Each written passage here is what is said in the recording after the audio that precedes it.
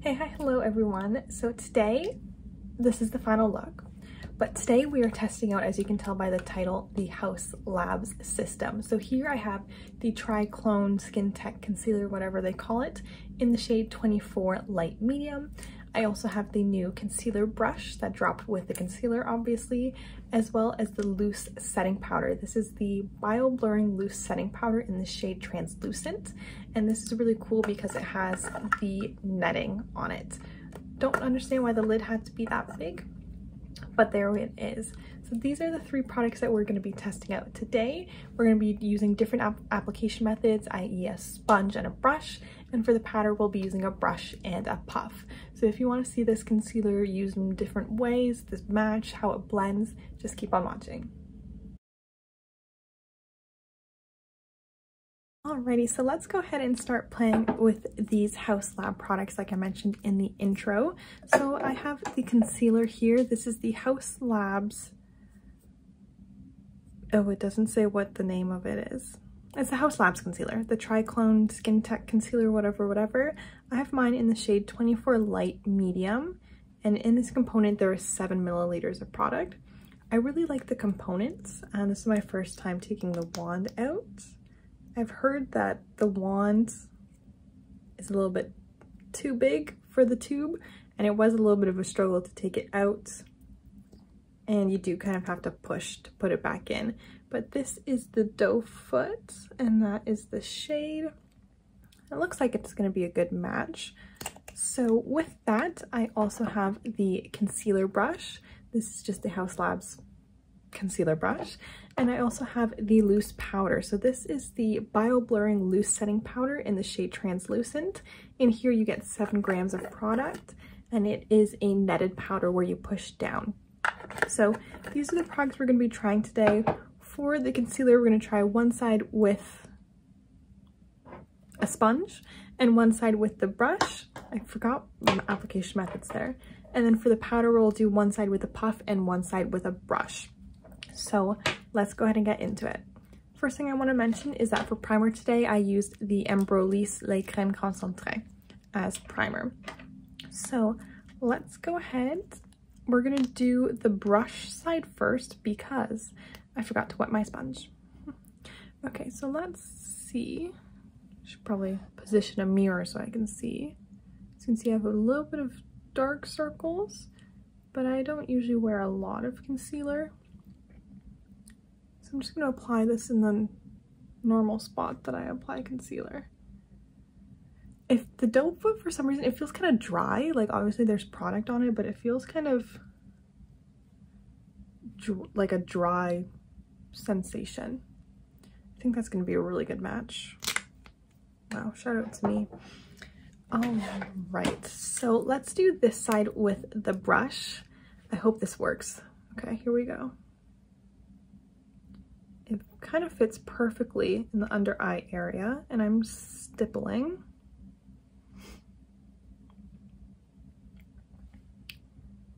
The shade might be one shade too dark in person. On camera, it looks like it's blending in perfectly.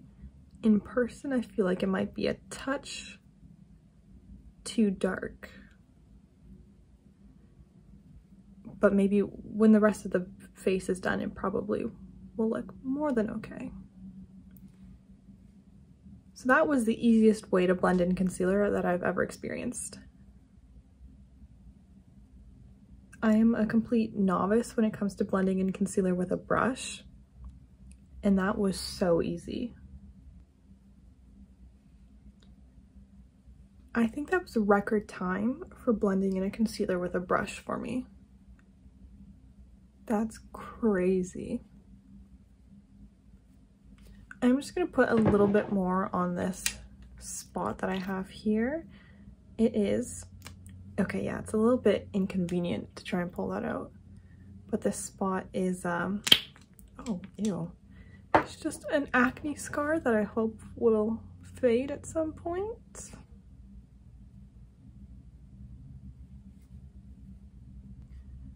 Wow, I can't get over how easily that blended with the brush. This brush is magic. Magic. Okay, let me go wet my sponge and then we'll do this side with the sponge just to see if there's any difference. Here we are with the dampened sponge, so we'll just go ahead and blend out this side. Oh, I'm kind of kicking myself a little bit because today is Tuesday, um, the day after the Sephora sale ended, and I'm kicking myself for not trying this during the sale so I could have got another brush. Hmm. Just too busy to test this concealer, unfortunately, while the sale was happening. All right. I feel like that also blended out really quick, really quickly with the sponge. Yeah, that looks really good with the sponge too. So I would say that's a success blending it with the concealer brush as well as a damp sponge. I didn't notice anything odd about the concealer. Some people are saying it's quite thick, but I didn't feel like it was that thick. And it's sitting really nicely on my skin. Let me turn my light on for a second just to see it with the light. Oh, that doesn't look too crazy. Yeah, it still looks great. And actually the shade match, once it's blended out, is quite perfect. Feel like I would maybe want to pair this with a little bit of a brightener. I think I'm just experiencing some dark circles right now. That covered and blended really nicely. My skin looks natural. It's just kind of like a, a soft matte natural finish. It's not caking up around my nose. Hasn't settled yet into fine lines. It looks really good. Let me turn that off again and let's move over to the powder. So again, first time trying the powder, I'm so excited. Again, this is in the shade Translucent. So I'm gonna keep this as the brush side. So this is my typical powder brush. So I'm just gonna dip in a little bit to coat the brush and then tap off the excess. Okay. I'm really on the journey for a loose powder, so I hope this one's good.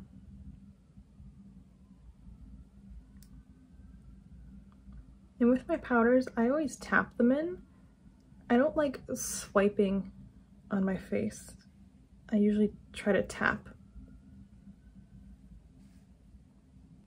I'll do my nose with the brush and then my chin with the with the puff.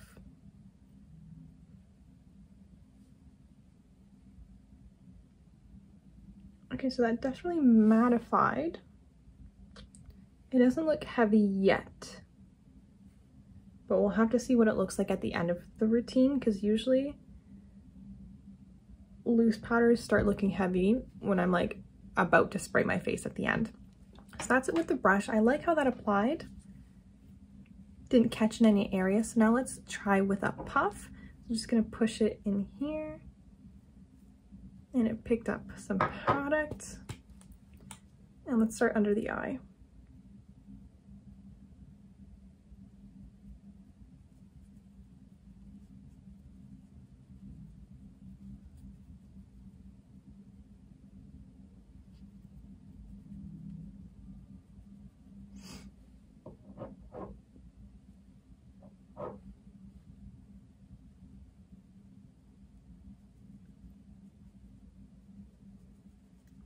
The way a powder performs on my chin area is really the determining factor with a powder.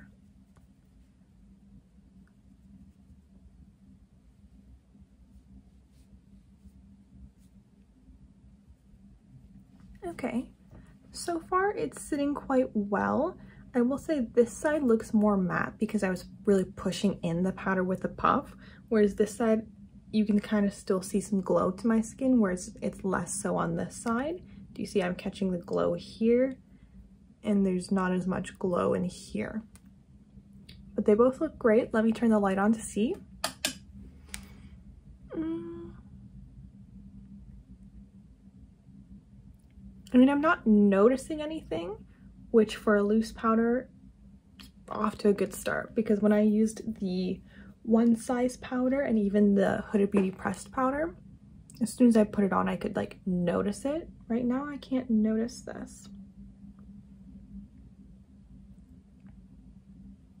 I would say we're off to a great start with both the powder and the concealer, but let me finish up the rest of my face and then we'll come back for some final thoughts once the rest of the face is on because I feel like that's when things get time to settle. So I'll be back in just a moment.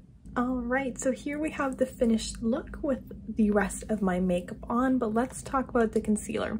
So before I put on my lower lash eyeshadow, there was a little bit of creasing um, in my, or settling into my creases.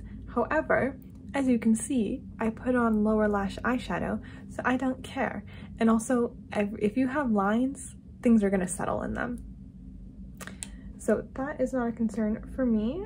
When you pull it down, you can see there's a, a little bit of buildup in the creases, but like I said, I don't care. The rest, ooh, I did not blend this highlighter out. Oh my God. Lord have mercy, almost had me out here looking a fool. Okay. In terms of the rest of the face, it looks really good. I did have to, you know, swipe away from my nose um, at one point because there was a little bit of settling in there too. But that's completely normal with all my other concealers. Those are the main spots that it settles, especially on this side of my nose, not so much on that side. The chin, it looks pretty good. The powder looks pretty good. This looks great. The concealer, the brush, the powder, everything is sitting really, really well. I will try to do a check-in later today, but the sun sets at pretty much 2 p.m. now, so I'm not sure what the lighting situation will be. But as of right now, when I'm putting on my face, it is 8.30 a.m. when I'm done my makeup. I look very good. I look really, really good. So if you see a check-in, you're welcome. If you don't see a check-in, thank you guys so much for watching this first impressions using the new Haus Labs system. I shouldn't say new because the foundation and powder have been out for a while, but the concealer and the brush and the powder, I'm really impressed so far. I wish I picked up another brush during this sale. Ah, rats. I might have to check out her site during the Black Friday sale. But anyways, thank you guys so much for watching. I hope you found this helpful. Like I mentioned, I am shade 24 light medium in the concealer if we are skin twins. My other concealer shades are extra lychee in the coffee concealer. It's your Forever Correct is 2W and Pat McGrath is LM8. So those are some references for you. I hope you guys enjoyed. Don't forget to subscribe and I will see you in the next one. Bye-bye. Alrighty, so we're just gonna do a quick check-in before the sun sets. It's currently 4 p.m. So this has been on for just under eight hours, so about seven and a half hours.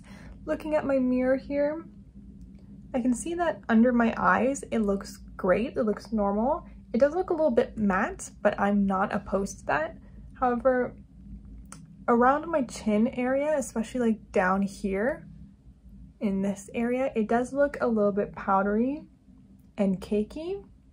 Now this could be because I applied the powder there with a puff as opposed to a brush, but that is something I want to point out. I don't love it, but it's also not what's ruining my face because you can't see it. Um, it's just, if I'm looking up very, very close, it just looks a little bit powdery and dry. Not something a hit of setting spray could fix, but it's also not detrimental to the look. So maybe if I applied with a brush on my chin, it would not be as bad but that is a quick little seven and a half hour update of the Haus Labs concealer and powder.